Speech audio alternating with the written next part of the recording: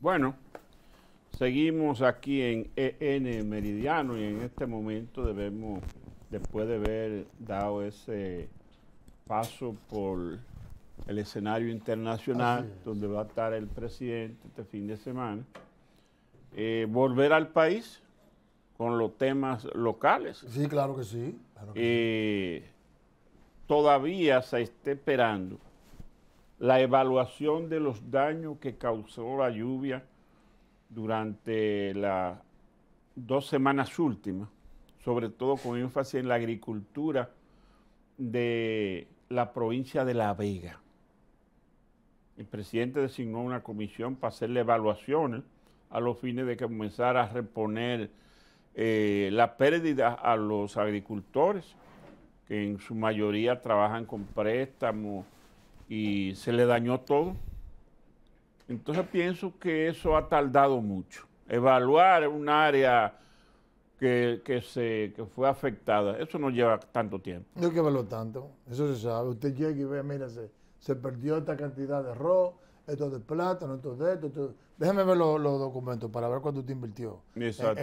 ah, bueno, mire, usted invirtió tanto, téngalo ahí. No, y además, por ejemplo, una carretera se dañó, que se con una cantarilla, un puente, eso no es tan difícil. Mira, usted ve, usted ve, por ejemplo, esto que usted está hablando, eso de daños en la agricultura, esas pueden ser razones que justifiquen que los precios se estén incrementando. Sí, es posible. El otro es, el otro es monetario. que ahorita le, iba a decir. Yo no me puedo estudiar mucho el tema, pero yo a, a simple ojo de pájaro digo, bueno, pero con todo el dinero que el gobierno gastó, evidentemente que hay mucho dinero en la calle de manera inorgánica y eso está presionando los precios. Entonces, el, Banco Central de seguro que en estos días se va a dar a la tarea de sacar dinero, de sacar dinero a través de los diferentes instrumentos que tiene para desmonetizar la economía e impedir que el exceso de dinero siga presionando el tipo de cambio y siga presionando la inflación. Es una combinación de esas dos cosas. Eh, eh, el exceso de dinero como producto de lo que pasó en los primeros cinco meses por el tema de la campaña electoral, más estos eventos que han pasado de, de, pérdidas millonarias de parte de los productores, se puede explicar algo de lo que está pasando con los precios. Sí. Pero el Invercruz debería saber eso y explicarle no está hablando mentira. Usted le ha cogido con Limber No, es que la verdad. Es que llega un momento que usted se cansa de una gente hablando, haciéndote cuento, cuento, cuento, cuento. Y tú en la, en la realidad ver otras cosas. Entra a los, a los periódicos para que usted vea. Con usted no se puede. Yo entré ahorita cuando usted estaba hablando. Para ver si era verdad. Ahí está. Comerciantes se quejan de que sí que ama de casa, no.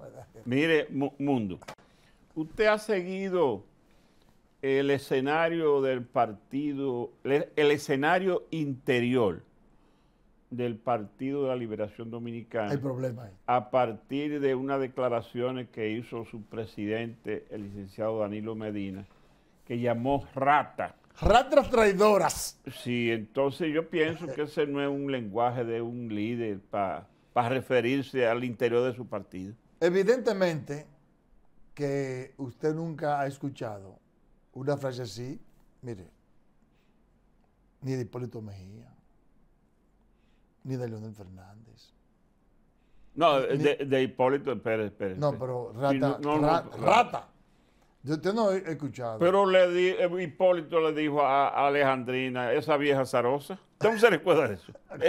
eso es peor. Es verdad, pero, pero es muy difícil. Leonel, si no, ni, ni, ni, Luis Abinader, ni, ni Valga Maldonado.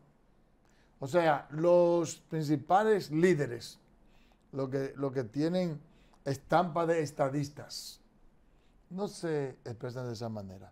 Yo creo que realmente eh, a Danilo Medina y al PLD le ha ido tan mal que Danilo se está llenando de rencor y está permitiendo que afloren esos, esos sentimientos que un político debe de saberlo manejar.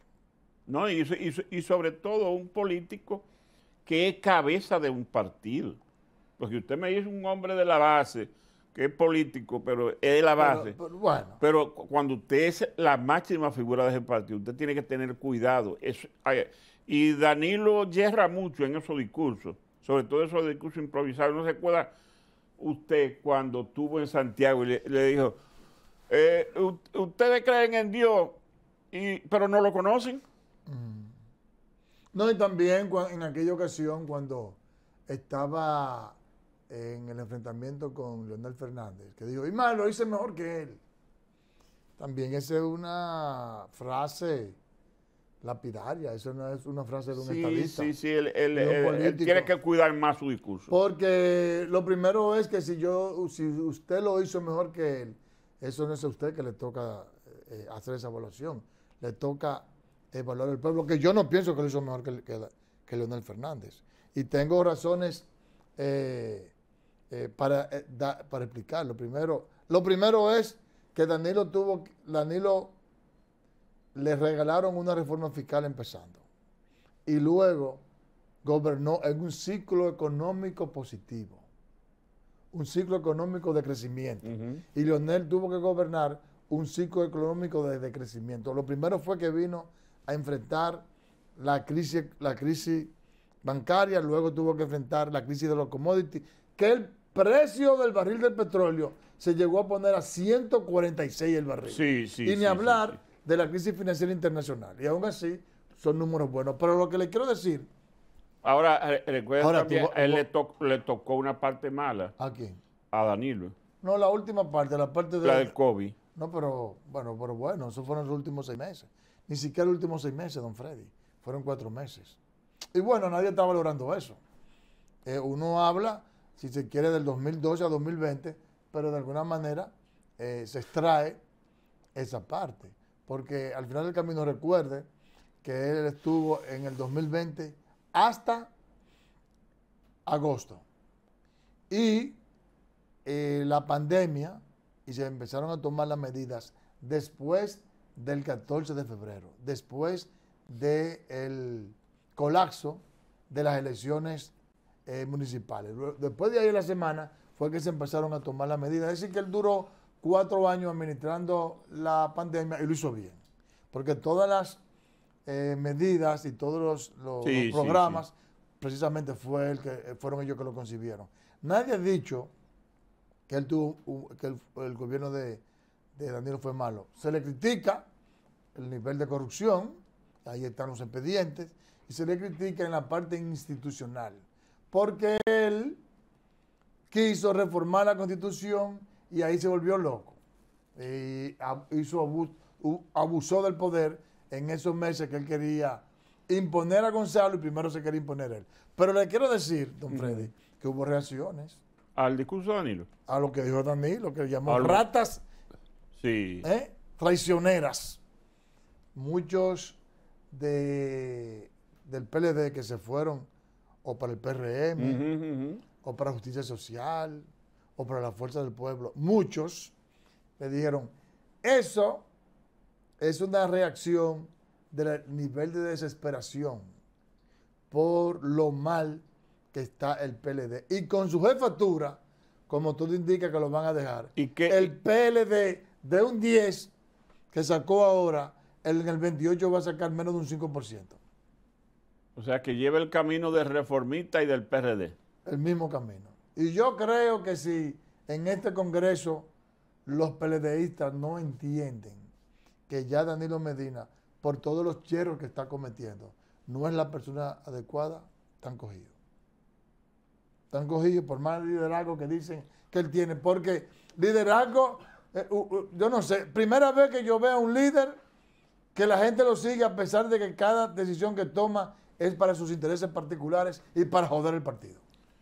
Eh, retire eso de joder, Pati. Para fuñir el partido. Sí, es verdad. es verdad. Se nos terminó el tiempo, señores. Gracias. Hasta mañana.